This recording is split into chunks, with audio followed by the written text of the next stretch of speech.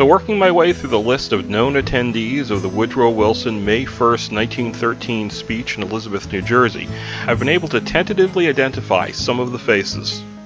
This gentleman looks a lot like Joseph Patrick Tumulty, who was Wilson's private secretary both as New Jersey governor and president. The man to the left of Wilson looks an awful lot like former Union County prosecutor John K. English. This gentleman bears resemblance to James Fairman Fielder, New Jersey's governor following Wilson. Now, obviously, this is hard to say for certain. A close look at the badge and the hat of the uniformed officer at the far left of the photograph seems to show the letters SS, likely one of the four uniformed Secret Service agents escorting the president from Washington. At the lower right can be read Photo by Fieldman.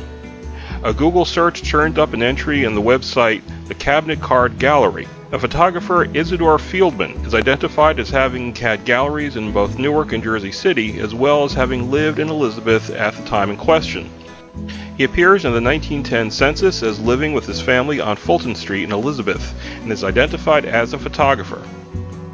I've written a letter to Mary Seymour, the woman who had sent the photograph into the Star Ledger, to see if she can add any more details. Stay tuned.